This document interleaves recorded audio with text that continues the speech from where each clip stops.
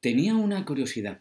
¿Aporta tener un perfil premium en LinkedIn confianza al resto de contactos? Y la respuesta definitivamente es no. He hecho la pregunta en mi comunidad de Twitter, ha ganado mayoritariamente el no aporta eh, confianza al tener un perfil premium en LinkedIn, pero me digo yo, eso es en Twitter. ¿Y en LinkedIn? Pues en LinkedIn un resultado muy parecido, un amplio debate eh, donde se ha comentado que tener un perfil premium no aporta confianza, sí la aporta qué contenidos compartimos, qué compartimos en cuanto a calidad eh, de esos contenidos, de esas reflexiones, aporta confianza la trayectoria profesional que cada uno nosotros tengamos, nuestra marca personal, profesional, eso sí aporta confianza.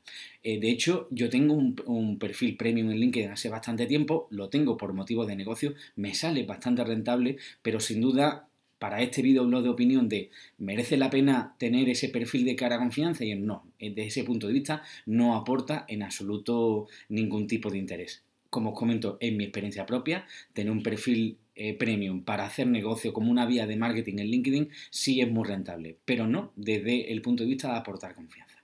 Espero que os haya gustado este videoblog de opinión y nos vemos en el próximo vídeo. Saludos.